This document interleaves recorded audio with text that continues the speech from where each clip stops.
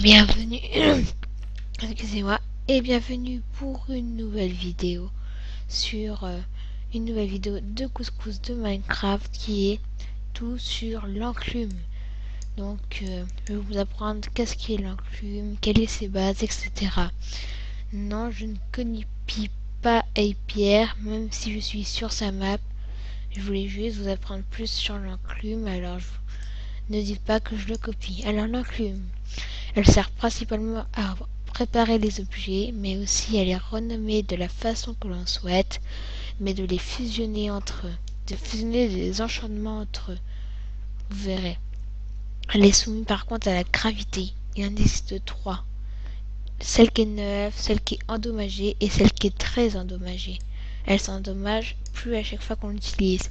Son craft, trois blocs de fer et quatre lingots. Donc ça fait un H horizontal. Donc voici comment elle est l'enclume. J'en ai une. Quand on la pose, voilà, on entend un bruit.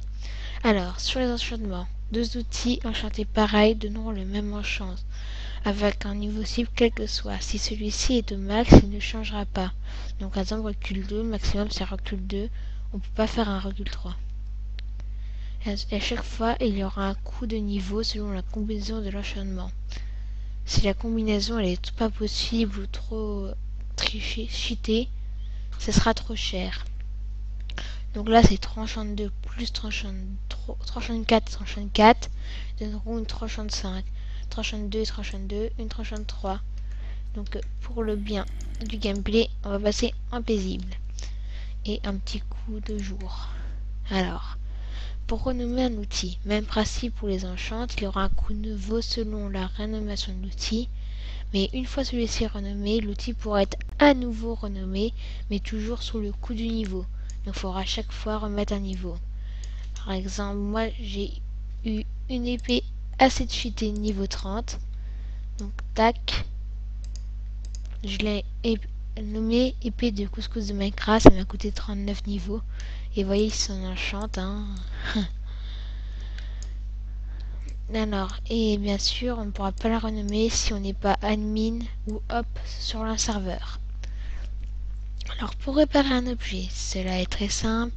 C'est le même principe. C'est le même principe, ça coûte en level.